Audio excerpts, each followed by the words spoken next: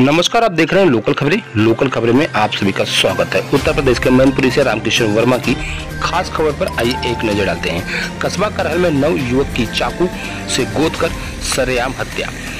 जनपद मैनपुरी में एक दिन दहाड़े बीच सड़क पर नौ युवक की सरेआम हत्या से सनसनी फैली है। पूरा मामला जनपद के कस्बा करहल का है, जहाँ चंद दिन पहले महज उधार के पैसे को लेकर कासुनी हो गई थी।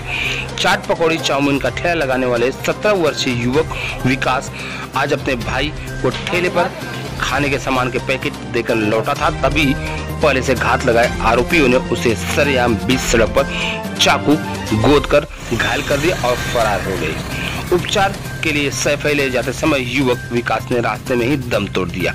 मौके पर पुलिस सीओ अशोक कुमार व इंस्पेक्टर देवेंद्र कुमार मिश्र ने छानबीन शुरू की है। बहरहाल करहल में बीस सड़क पर सरेआम हत्या से सनसनी फैली है। क्या घटना हुई आज? आज गड़िया चौराहे पे हमारे भाई मतलब डिलीवरी लेके जा रहे थे रास्ते में लौटते समय उन लोगों ने पूरी ग्रुप में चाकू चाकू और में से मतलब कि मार दिया। कौन लोग थे? जो यादव थे। नाम क्या है उनका?